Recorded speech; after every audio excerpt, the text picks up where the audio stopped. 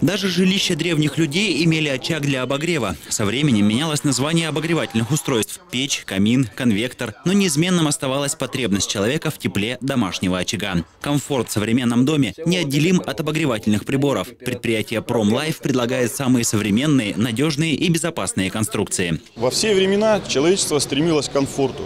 Пленочный нагреватель «Зебра» – это результат неизбежной эволюции электронагревательных приборов.